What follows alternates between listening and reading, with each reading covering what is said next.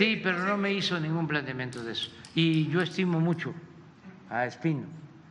Lo que pasa es que no lo quieren los conservadores, ni la prensa, este, ni la prensa este, conservadora, porque resulta que Espino era presidente del PAN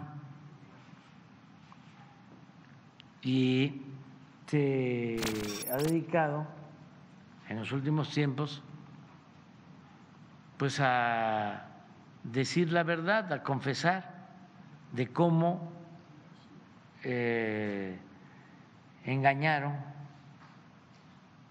Fox y Calderón. Entonces le tienen un coraje,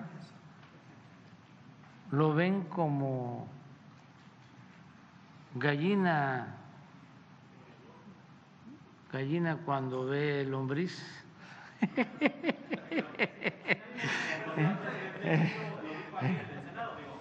Sí, lo quisieran, este, entonces, sí, picotear.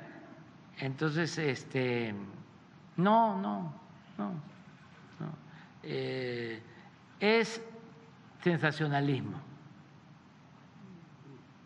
Eso.